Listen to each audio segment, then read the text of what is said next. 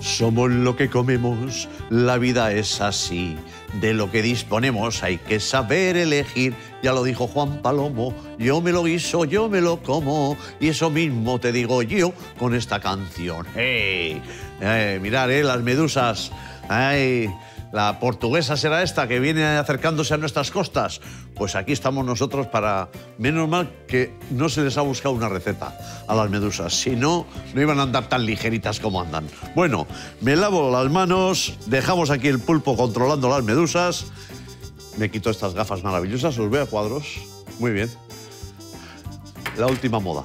Nos lavamos las manos. Dos recetas bien curiosas.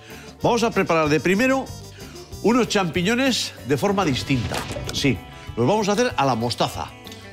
Los vamos a hacer en una cazuelita, con una guindillita, bien lavados. Qué curioso lo de los champiñones. Otra cosa que se inventó de casualidad, en 1650 por ahí, en- en Francia, pues dice que echaban el agua de haber lavado los hongos silvestres encima de los est- estiércol de los caballos y de pronto vieron que brotaban allí setas. Pues eran los champiñones. Y desde 1650 se produce el champiñón. Le llamaban la seta de París. Pues ahora está en todas partes. Menos mal. ¿Cómo se inventan las cosas a- sin querer? Muchas, ¿eh? Sin querer. Pues esta es de las buenas.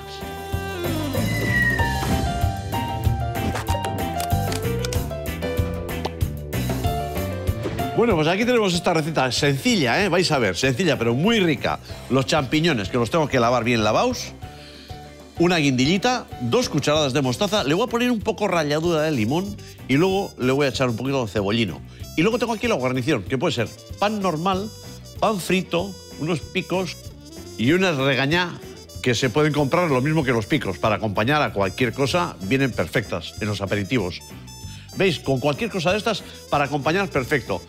Los champiñones, bien de aperitivo o bien de plato, o bien para acompañar a cualquier otro plato de guarnición, son una auténtica maravilla. Se hacen sopas, se hacen cremas, se hacen tortillas, sirve para guisos de carne, guisos de pescado.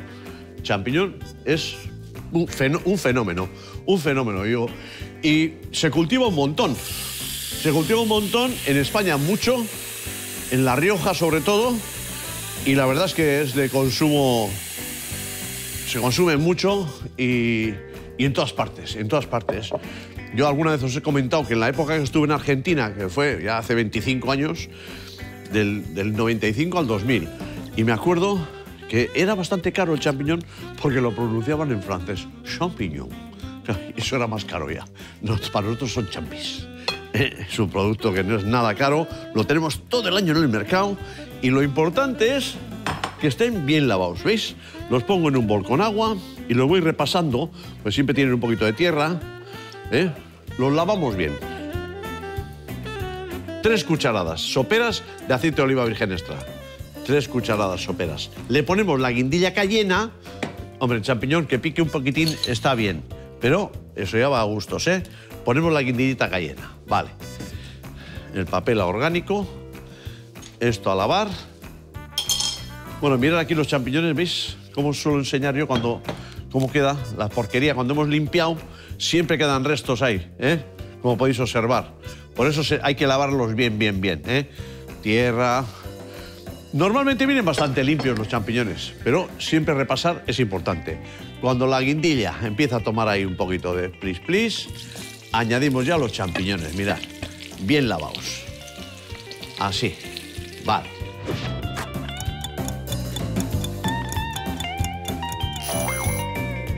Bueno, en 10-12 minutos han soltado su propio jugo, se han cocinado en su jugo, ¿veis? Mirad qué guapos, han mermado, han mermado porque el champiñón es agua, ¿eh? Es agua. Y ahora es el momento de añadirle la mostaza. Así, dos cucharaditas de mostaza, un poquito de ralladura de limón le vamos a poner. Mientras nosotros ahora, con un poco de ralladura de limón, aquí mismo, así, le rayo, no mucho, para darle un toquecito nada más, ¿eh? Ahí. Perfecto. Ralladura de limón.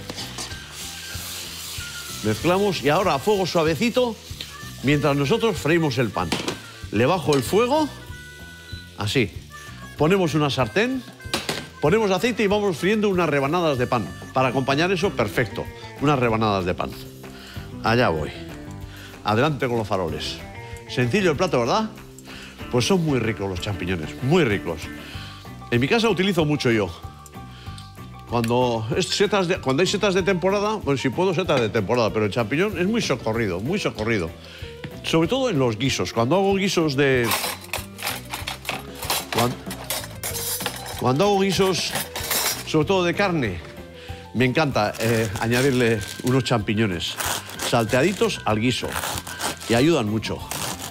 Bueno, rebanadas de pan y las vamos friendo. Un par de rebanadas por cabeza. Dos, cuatro, seis, ocho. Aquí estoy viendo. Qué rico es este pan de leña. ¡Buah! Por favor. Sí, señor. Tengo aquí ya la sartén al fuego. Vamos a dejar que se caliente un poquito. Así. En un par de veces freímos el pan. Pongo otro plato con papel absorbente y estamos atentos aquí para que no se nos queme el pan. Y al champiñón le voy a añadir cebollino. Cebollino picadito. Le da mucha gracia.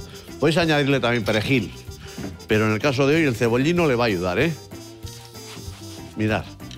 Tengo aquí cebollino. Hago así. Picado. Y se lo añado. Y ya se nos está friendo el pan. Está todo en marcha. El primero lo tenemos ya encaminado. Ala, cebollino.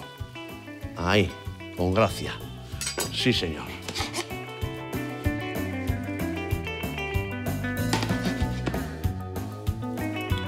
Mirad, están riquísimos. He probado uno, está riquísimo. Tienen un toque entre un poco picantito, la mostaza, el cebollino. Es una maravilla de aperitivo este. Así, ¿veis? Ponemos, por ejemplo, ahí la ración. Hoy los vamos a acompañar con el pan frito, que es, a mí me parece un escándalo de rico y de sencillo esto. Podríamos acompañarlo también con unos piquitos o con una regañá cualquiera de las cosas. ¿eh? El resto lo vamos a poner en este plato. Esto sería la ración. Ahí. Y ahí. El resto aquí. Con mimo. Si los cortáis por la mitad o en laminitas, se os va a quedar casi en nada. Y así de esta forma quedan como de bocado, quedan muy ricos.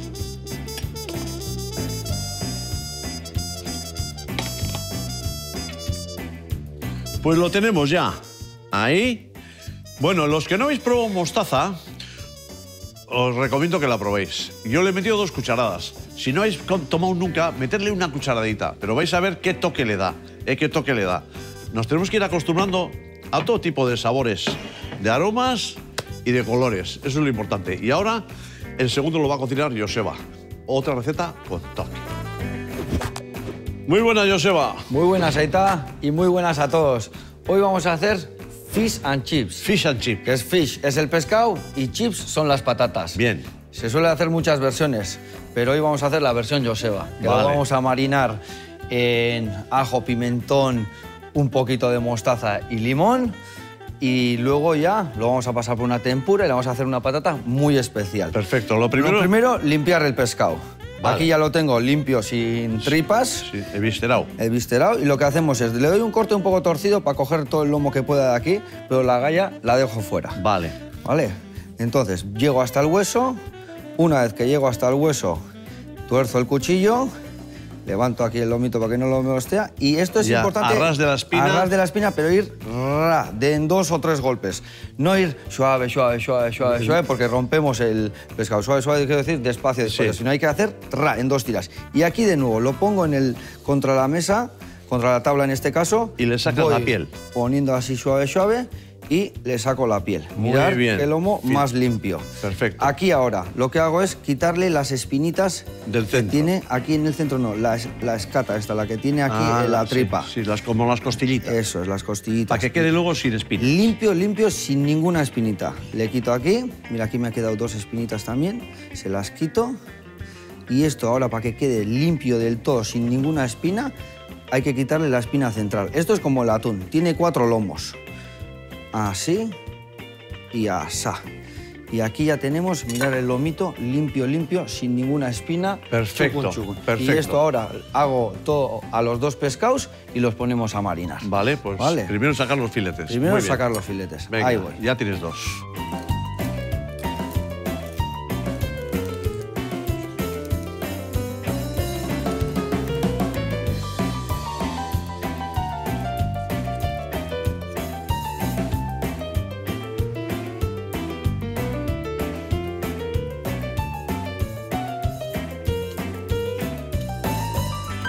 Y ahora lo que vamos a hacer es trocear los lomos por la mitad. Por la mitad. Para tener más pedacitos. Muy bien. Y así ya veis y que más esto como de está de bocado, ¿no? limpio, limpio, sin ninguna espina, apto para cualquier persona. ¿Tú ¿eh? dónde es donde más fish and chip has comido?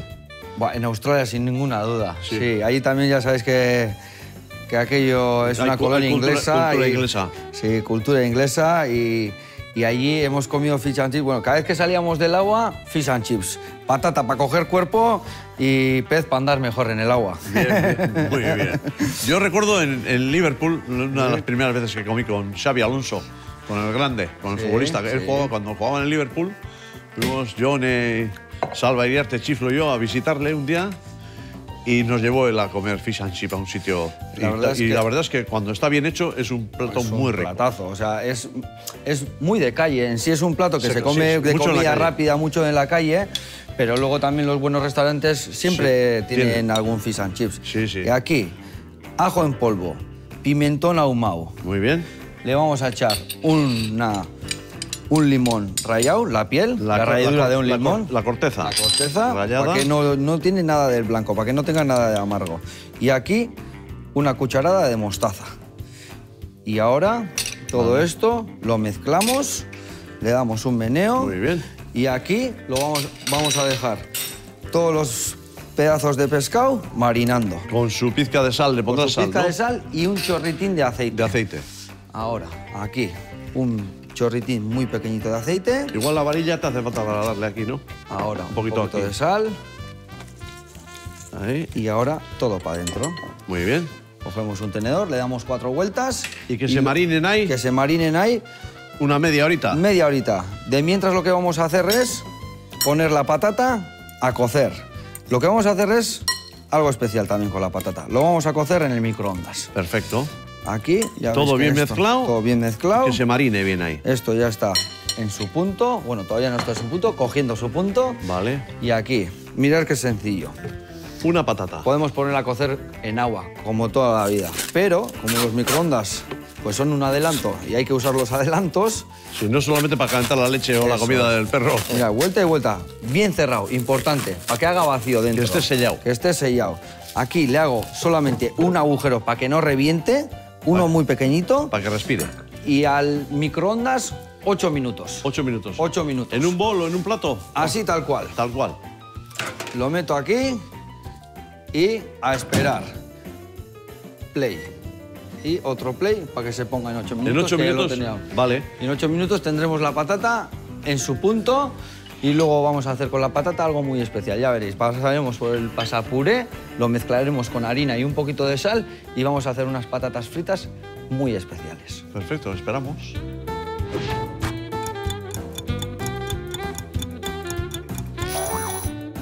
Ya tenemos la patata cocida, la acabamos de sacar del microondas. Mucho cuidado porque es fácil que te quemes.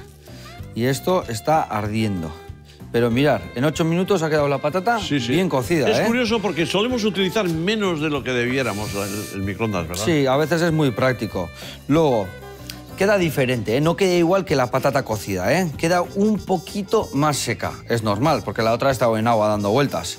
Y esta se, co- se cuece con su propio... Es con su propia humedad. Eso es.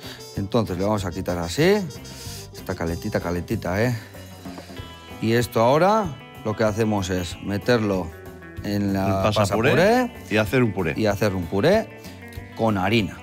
Vamos a meterle un poquito de harina, el punto de sal. Esto ya te lo quito yo. Esto le hago unos trocitos para que entre más fácil. Pero ya veis que bien cocida ha quedado en ocho minutos, ¿eh? Perfecta. Adentro, vuelta a vuelta. Y ya tenemos casi esto cogiendo forma todo. Así, vuelta para atrás y venga de nuevo. Muy bien. Vuelta para atrás, rascamos lo de la pared, un poquito. Siempre con el- la parte de atrás del cuchillo, nunca el filo, ¿eh? que se desafila. Ahora ya una lengua para aprovecharlo de abajo, ¿no? Eso Aquí tienes es. la lengua. Lengüita, aprovecho todo lo que queda por aquí. Y esto ya te lo retiro yo. Muy bien. La fregadera. Y aquí una pizca de sal. Y vamos a ir incorporándole la harina poco a poco. Lo que os he dicho, queda más acuosa si está cocida en agua. Entonces, Cogerá más- cogerá más harina. Ad- Admitirá más harina. Aquí yo creo que unos 50 gramos para 200 gramos que tenía la patata es lo idóneo. Esto está calentito también, ¿eh? Pero esto, para amasar también lo mejor, meter la mano dentro. Le doy cuatro vueltas para que se refresque y no me queme. Y ahora que la ya tengo así. a mano. Ya a mano, ya, hasta que esto coja. Absorba, absorba bien toda la harina. harina y se haga una masa. Y aquí ya tenemos. Qué curioso cómo ha quedado la- ¿Eh? el, puré de patata con El la harina, ¿eh? Puré de patata con la harina y un poquito de sal, importante, porque sosos no vamos a andar, ¿no? No, no, ¿Eh? sosos no. So- Sosos no hay que ser. Y ahora, después de hacer la bola, le estoy dando una forma un poco rectangular para estirarlo en el papel sulfurizado Vale. y hacer ya, pues, las patatas. ¿Cuánto necesitas? A ver, poquito más. Ahí, dale el corte ahí. Perfecto. Y así pongo aquí, le pongo la mitad encima, la otra mitad, y con el rodillo voy estirando. Del centro para afuera y del centro para afuera, para los dos lados. Muy curioso. Del centro para afuera, para afuera, y para que salga más rectangular, cojo, le doy un par de golpecitos aquí, otro golpecito aquí, Lo cuadras un otro poquito. aquí, lo cuadro un poco y lo vuelvo a estirar un poquito más. Muy bien. Del centro para afuera, del centro para acá, aquí y para acá. Y esto ya lo tenemos para hacer las patatas. Tenemos la masa hecha, lo que hago es, voy a darle un corte por la mitad, las esquinitas y aquí ya las patatas preparadas para freír. Muy bien. Y esto dicen que son las patatas más crujientes. ¿Por qué? Porque ya la masa ya está hecha, a la de dentro, y lo único que hacemos es meter en aceite bastante fuerte, se hace el crunch por fuera y la masita por dentro. Jugosas por dentro. Y aquí si quieres también, pues algunos, si quiere meterle pimienta, si quiere meterle pues algún ingrediente más, también Perfecto. Pues mí, esto la- ya lo lo tenemos, lo quieras. reservamos aquí para luego freír. perfecto. Y de mientras voy haciendo la tempura donde vamos a pasar luego el pescado. Muy bien. Aquí pongo La tempura. Primero lo que voy a hacer es batir el huevo. Pongo aquí el huevo, cojo una varilla, lo bato y una vez que ya lo tenga esto ya Bien batido. medianamente batido, quito la varilla, coge, esto también y ahora con otra lengüita voy haciendo la tempura. Voy a echar toda la harina, voy a mezclar esto y luego aquí agua con gas hasta llegar al punto correcto. ¿Cuál es el punto correcto? Pues ni un mazacote ni algo muy líquido. Algo intermedio que nos deje rebozar el pescado, pero que quede un rebozado correcto, bonito y bien crujiente en boca. Ahí vamos. Muy bien. Aquí lo que también le vamos a incorporar es a la tempura un poco de perejil picado. Luego al final, Vale, vale, para que se note te- dónde viene la- Ahí la dado, ahí la has la receta. Me dice la Ita, no te despistes eh, con el No, perejil. No, te despistes con el perejil, que es cosa nuestra.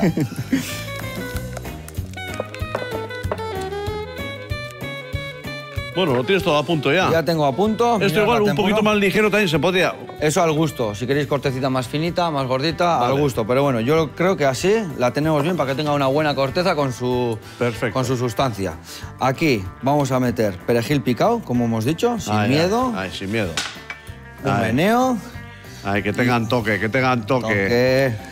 Aquí. Fish and chips, sí, pero al estilo Zaraun. Ate- Eso es, toque.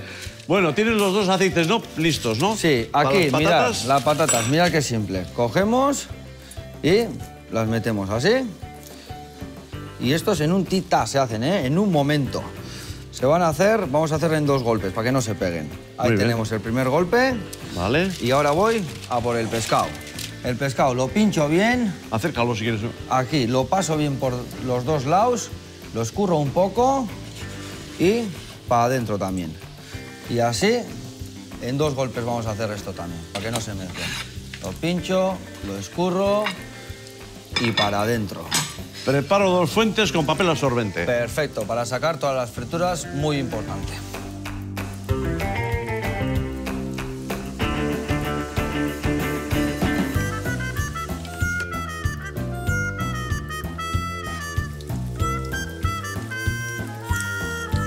Ya lo tienes. Ya lo tenemos. Muy bien. Qué curioso, ¿eh? Qué, qué curioso. Qué bueno andar por el mundo para aprender cosas también, ¿eh?